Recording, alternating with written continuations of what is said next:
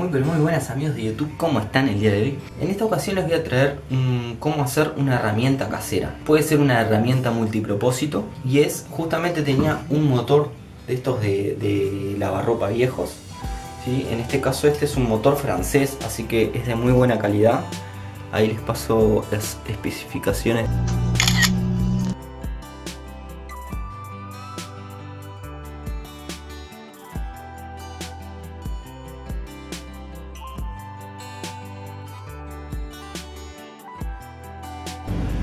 650 RPM a 330 watts y 5,4 amperios y después tenemos 12.000 revoluciones que es lo que vamos a, buscar nosotros a 560 watts de consumo y 2,5 amperios ¿sí?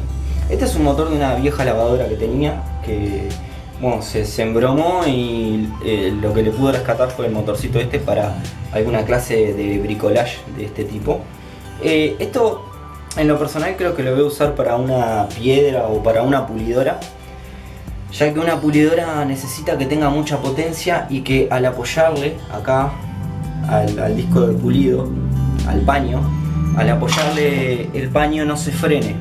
Entonces yo, por ejemplo, allá atrás, si la ven, ahí tengo una piedra, pero esa piedra eh, no tiene la potencia necesaria para hacer un, un motor de pulido, porque cuando uno le, apoya las piezas se frena, no tiene la potencia necesaria.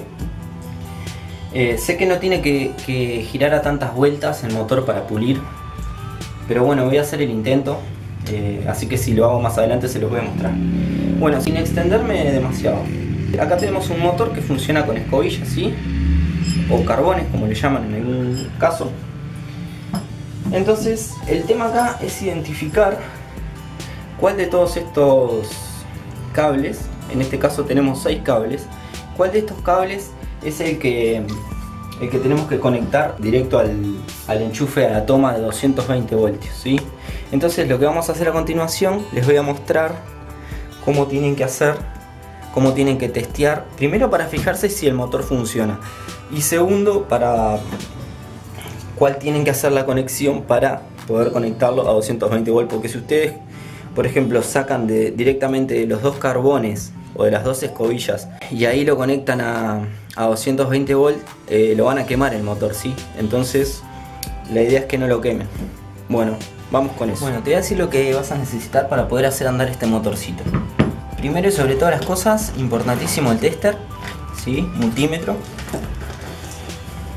Segundo, un pedacito de cable cortito, más o menos de un milímetro de espesor o hasta dos milímetros se puede. Este cable tiene que tener las conexiones, en este caso son Bosch hembra de los dos extremos porque con esto vamos a necesitar hacer un puente, ¿sí?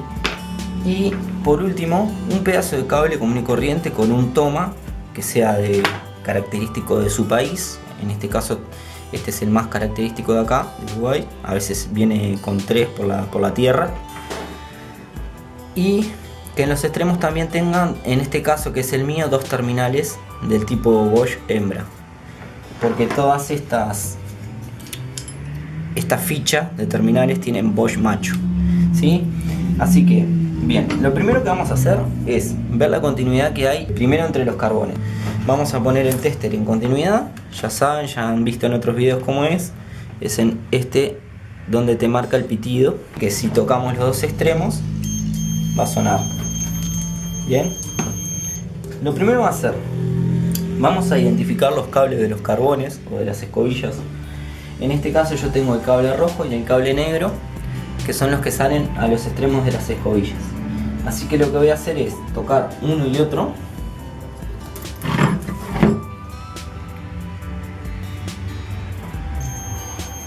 y como ven tienen continuidad. Si pasara el caso de que no tuvieran continuidad, tienen que chequear seguramente o esté una escobilla o un carbón jodido que no haga buen contacto o hay un cable cortado. Bueno, lo siguiente, vamos a identificar los dos cables que por lo general vienen amarillos, vienen del mismo color, son los del medidor de RPM. A ese no le vamos a dar mucho corte porque eso es más bien para la ropa que necesita medir las RPM. Eh, descartando esos dos cables amarillos, si están acá, van a ver dos cables que sobran. En este caso el mío es uno blanco y uno de color azul. ¿Sí? El blanco y el azul van a ser los que entran al rotor. Así que los vamos a, tocar, a medir y como ven tienen que tener continuidad. ¿sí? Son los del rotor interno de acá. Em, bueno, lo siguiente sería medir que bueno que estos cables del rotor si lo medimos al chasis ¿sí? cualquiera de ellos no pueden tener a la tierra el chasis del, motor no pueden no puede pitar no pueden tener continuidad. Lo mismo con los con las escobillas no pueden tener continuidad con con el chasis del rotor porque no estaría haciendo un corte. Bien. Una vez identificado cuáles son los cables del rotor que serían dos y los cables del, de los carbones ¿sí? que serían dos más vamos a pasar a agarrar este cablecito este que está acá que es una suerte de puente y vamos a puentear vamos a hacer un puente entre uno de los carbones uno de, los cables que va a las escobillas y uno del rotor ¿sí? ahí vamos a generar un puente y los otros dos lo que vamos a hacer es conectar este cablecito que es el que, el que va a ir derecho a la toma de, corriente ¿sí? de nuestra casa. Lo que vamos a hacer es conectar en los otros dos que restan, ¿sí? que va a ser un polo en uno de los carbones o escobillas y otro polo la otra pata del rotor. Así que ahora vamos a pasar a, encenderlo, a ver si, si prende esto o explota. Bueno, prueba 1, conexión.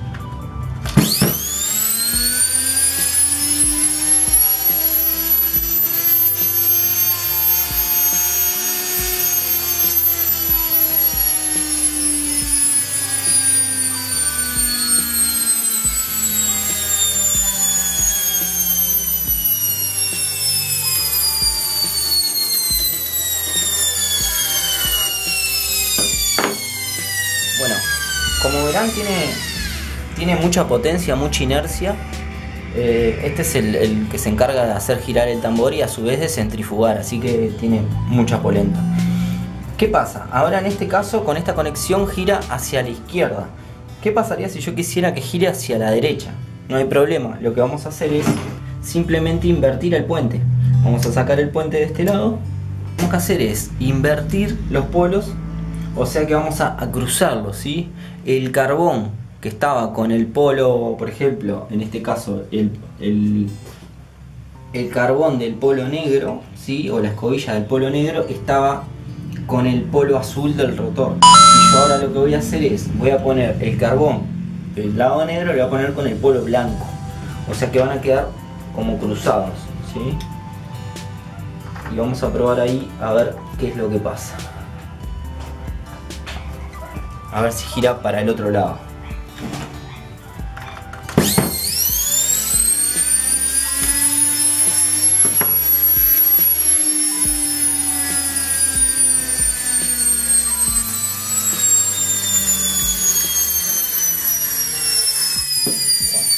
como verán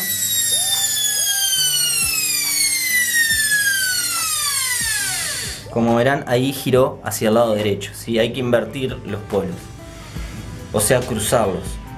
Bueno, espero se haya entendido, espero les haya gustado el video, es un video bastante corto, pero, pero la verdad que mm, esto nos puede ayudar, que sea una herramienta para el taller, eh, que sea funcional y bueno, capaz que por ahí ves un lavarropas tirado, le puedes sacar el motor que está funcionando y te puedes armar una herramientita de esta que, que puede venir bárbaro.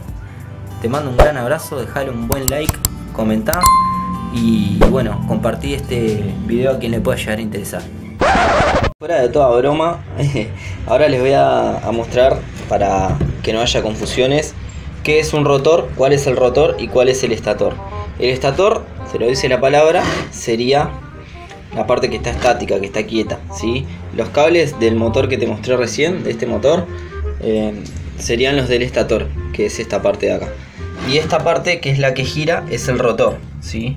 Bueno, no sé por qué dije 8 veces rotor y lo sigo diciendo, pero en realidad lo que te quiero decir es esta parte que es el estator. Bueno, dejando en claro esto, ahora sí podemos finalizar con el video. Te voy a dejar estos dos videitos por si te llega a interesar alguno de ellos y todavía no lo viste. Un abrazo.